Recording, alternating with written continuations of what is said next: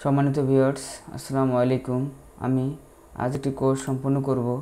এটা হলো প্রশিক্ষণের কোর্স সেটা হলো মুক্তপাঠ প্রশিক্ষণ দুই হাজার একুশের জাতীয় শিক্ষা, জাতীয় শিক্ষাক্রম রূপরেখা দুই হাজার একুশ অনলাইন প্রশিক্ষণ।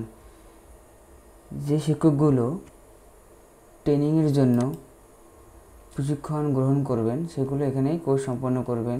কোর্স সম্পন্নের জন্য আমরা এখানে ক্লিক করব। কোর্স সম্পন্ন করার জন্য ক্লিক করে, শুরু করব শুরু করার পরে এখানে আমাদের দেওয়া আছে সম্মানিত শিক্ষক জাতীয় শিক্ষাক্রম দুই হাজার একুশ একুশ অনলাইন কোর্স সম্পন্ন স্বাগতম। এখানে শুরু হবে, এখান থেকে প্রতিটা স্টেপ পার হতে হবে। এখানে হবে অভিজ্ঞতা আছে, সাধারণ নির্দেশনা আছে, অভিজ্ঞতা আছে, এখানে অভিজ্ঞতা দিতে হবে। অভিজ্ঞতা সম্পন্ন করতে হবে। এখানে বলতে হবে যে মডিউল শিক্ষাক্রম দুই হাজার একুশের ধন্যবাদ। এখান থেকে বলতে বর্তমান বর্তমান শ্রেণীকক্ষে আপনি কী ধরনের শিক্ষণ গ্রহণ করেন? বাংলা। যদি বাংলার টিচার হয়, তাহলে বাংলা। এখানে দেখতেছে, বর্তমান শিক্ষাক্রম, আপনি কোন ধরনের শিক্ষণ গ্রহণ করতেন, ব্যবহার করতেন যা কার্যক্রম কার্যকর মনে করেন। অত্যন্ত কার্যকর। অত্যন্ত এখানে সাবমিশন দিতে হবে। দেওয়ার পর পরবর্তীতে স্টেপে যাইতে হবে। পরবর্তী হচ্ছে কুইজ পরবর্তী হচ্ছে মিনিট আছে মিনিটটা শেষ করতে হবে। তারপর হচ্ছে কুইজ আছে। কুইজটা হলো কি বলছে?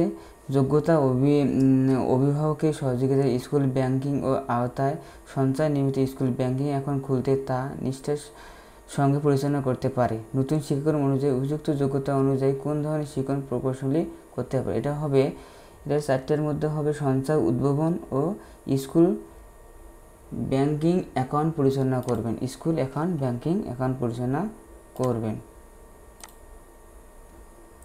ওকে, ওখানে আমাদের অভিনন্দন জানাইলো, ঠিক আছে? এখানে দেওয়া আছে মতামত।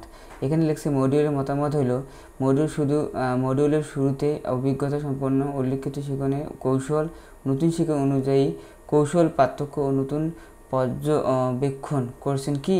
আপনি মতামত এখানে তুলে ধরুন, আমি এখানে মতামতটা লিখে দেব। ঠিক আছে? লিখে দেব তারপরে এখানে আছে অভিজ্ঞতা।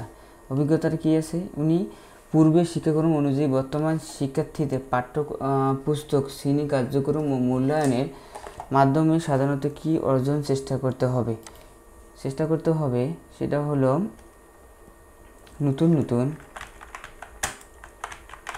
নতুন নতুন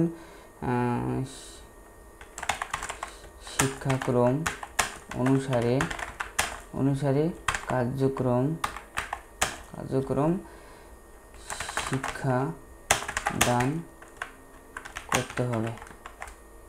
এখানে সাবমিশন দেব। তারপরে এখানে আছে ভিডিও তো ভিডিওতে দেখা আছে আমার এখানে দ্বিতীয় নম্বর। এটা হলো আপনার ভিডিও ভিত্তিক গেলে, গেল, শিক্ষাক্রম অনুযায়ী গেল। এখানে দ্বিতীয় নম্বর প্রশ্ন উত্তর হলো আপনার এখানে হবে নতুন শিক্ষক অনুযায়ী নিচে কোনটি যোগ্যতা সম্পন্ন? এটা হবে বিজ্ঞান প্রযুক্তি ব্যবহার করার সম্পর্ক না? বিজ্ঞান প্রযুক্তির ওজন করার সম্পর্ক? বাস্তব জীবনে প্রয়োগ সম্পর্ক না? এটা হবে বাস্তব জীবন বাস্তব জীবন বিজ্ঞান প্রযুক্তি ব্যবহারের ক্ষেত্রে দায়িত্বশীল আচরণ করতে পারা। এটা হবে এটার উত্তর। তারপরে আছে এটা গেল, তারপরে এটা গেল, তারপরে হচ্ছে মডুল থ্রি উত্তর হবে নতুন শিক্ষাক্রম অনুযায়ী নিচের কোন কোন, নিচে কোন কোন বিষয় শিক্ষাক্রম অন্তর্ভুক্ত নয়। সেটা হলো অন্তর্ভুক্ত কোন কোন বিষয় নয়, এটা আছে স্বাস্থ্য বিষয় নয়। কৃষি নাই কৃষি নাই, পদার্থ নাই, ব্যবসা নাই, এটা আছে সুশক্ষ নাই এই তিনটা হবে, এই তিনটা হবে, এটা হবে এটা হবে, এই তিনটা হবে, উত্তর। তারপরে হলো চার নম্বর পাঁচ নম্বর মডিউল পাঁচ নম্বর হলো মডিউল শিখন সময়। তারপরে হলো স, চারটে প্রশ্ন এখানে আসছে।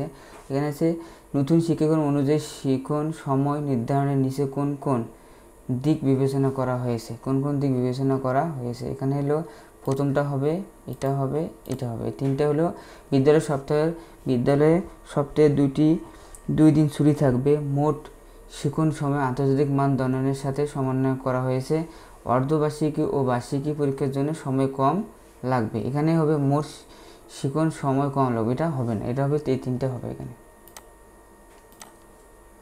তারপরে উত্তর হলো এদিকে মডিউল সব শেষ হলো, পাঁচ নম্বর উত্তর হলো, এখানে হলো আপনার হলো নতুন শিক্ষক অনুযায়ী মূল্যায়নের ক্ষেত্রে কোনগুলো সঠিক? শুধুমাত্র শিক্ষক মূল্যায়ন করবে না রিপোর্ট কার্ডের নম্বরের পরিবর্তনে পরিদর্শনের রেকর্ড উপস্থাপন করবে, এটা ঠিক আছে। মূল্যায়নের প্রক্রিয়া বরাবরের সমাজে, সমাজকে যুক্ত করবে, এটা ঠিক আছে। মূল্যায়নের ভিত্তিতে মূল্যায়নের ভিত্তি হবে প্রত্যাশনী প্রত্যাশিত যোগ্যতা এই তিনটে হবে।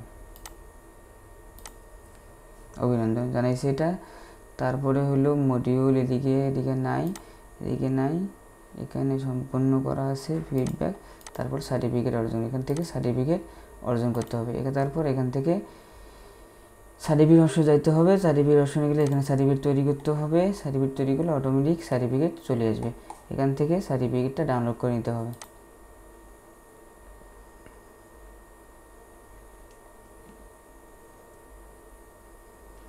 ডাউনলোড করে ডেস্কটপে সেভ করলাম। থ্যাংক ইউ অসংখ্য ধন্যবাদ ভিডিওটি দেখার জন্য।